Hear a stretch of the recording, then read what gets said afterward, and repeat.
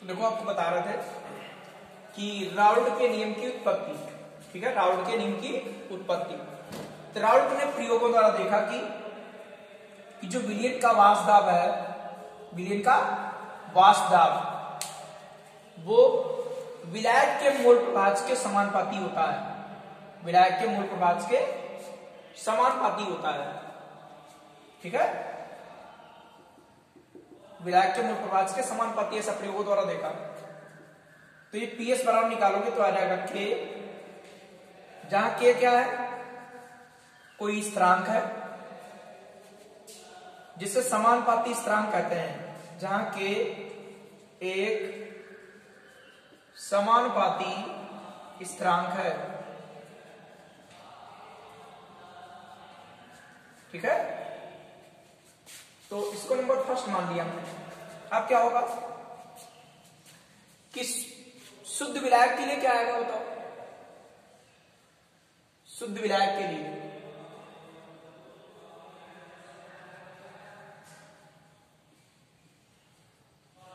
शुद्ध विलायक के लिए क्या होगा? इस एन का मान ज़ीरो होगा क्योंकि इसमें विलय तो है नहीं। ठीक है? और ज़ीरो होगा। और साथ में क्या होगा? पीएस बराबर किसके हो जाएगा पीएस बराबर। ध्यान दीजिएगा आप लोग पीएस बराबर क्या हो जाएगा भाई, शुद्ध विधायक के लिए क्या होगा? शुद्ध विलायक के लिए स्मॉल एन का मान ज़ीरो। क्योंकि इसमें विलय तो है नहीं। और जब इसमें विलय नहीं है तो जो पीएस होगा, वो पी नाट के बराबर होगा कि नहीं होगा? बोलो भाई।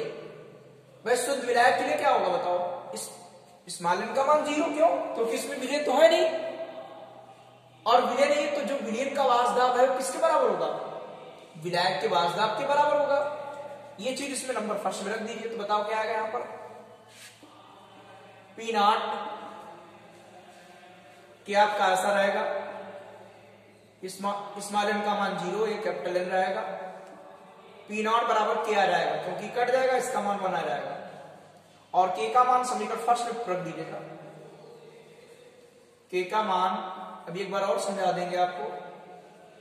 यदि कुछ भी पूछना हो तो आप कमेंट्स बॉक्स में लिखकर पूछ सकते हो, ठीक? के का मान समीकरण एक में रखने पर। जो भी क्लियर नहीं होता पूछ सकते हो। तो पीएस बराबर क्या आएगा? P naught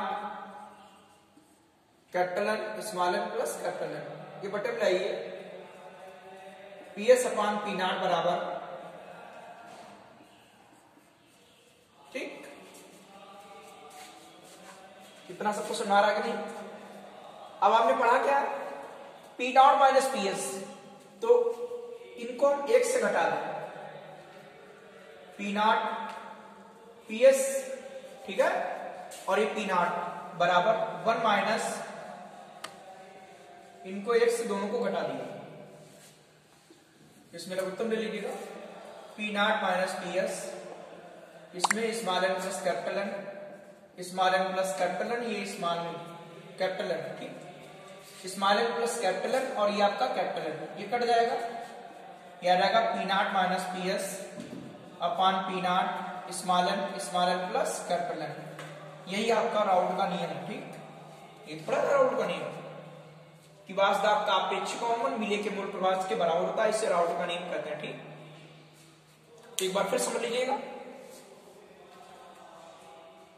इन्होंने प्रयोगों द्वारा देखा कि विलियन का वासदाब कौन सा विलियन आवाज़ से मिले पदार्थ द्वारा बने विलियन का जो वासदाब है, वो विलायक के मूल प्रभाज के समानुपाती होता है राउट ने ऐसा देखा, ठीक?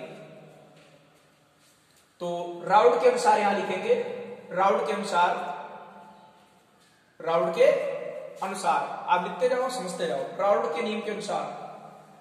लिखो राउट के नियम के अनुसार। विलियन का वासदाब विलायक के मूल प्रभाज के समानुपाती होता है। अर्थात विलायक के मूल प्रभाज पर निर्भर करता है, ठीक? पीएस समानुपाती कैपिटल एन, नीचे small plus capital N. P s बराबर आ जाएगा आपका लिख लीजिएगा के कैपिटल एन नीचे small n plus capital number first जहाँ के एक समानुपाती स्थिरांक है। जहाँ के क्या है? एक समानुपाती स्थिरांक। उसके नीचे लिखेंगे, शुद्ध विलायक के लिए क्या होगा? स्मॉल एम का मान ज़ीरो व पीएस बराबर पी नॉट हो जाएगा, ठीक? ये मान उठाकर आप इसमें रख दीजिएगा। तो आपका पीएस के स्थान पर क्या हो जाएगा? P naught. के हो गया। कैपिटल एन ज़ीरो हो गया। ये आपका कट जाएगा। एक आएगा भाई एन बचेगा capital. Capital N capital cut गया वन आया तो पी नॉट बराबर के। के का मान समीकरण एक में रखने पर। के का मान जो है, समीकरण एक में रख दीजिए। तो बताओ क्या आया? पी एस यहाँ गया पी नॉट। ये आपका ऐसा आ गया, ठीक? या आप पान में लिख देंगे p s upon p naught बराबर कैपिटल नीचे small n plus capital N इसके बाद आप लोग इधर से करेंगे। कि वन से घटा दीजिए दोनों वन से घटा रहा है, ठीक? P naught p naught minus p s उत्तम ले लिया। कट गया। ऐसा आ गया, ठीक? नीचे लिख दीजिए, यही राउंड का नियम है। यही राउंड का क्या नियम है कि नहीं? ठीक है? तो आपका ये पहला अणुसंग गुणधर्म खत्म हो गया और उससे रिलेटेड चीज़ें खत्म हो गई, ठीक? हिवास का अनुमान क्या है आपेक्षिक अनुमान क्या है, इसी से रिलेटेड आपका क्या था? राउंड का नियम, वो भी आपका हो गया है ठीक। तो इससे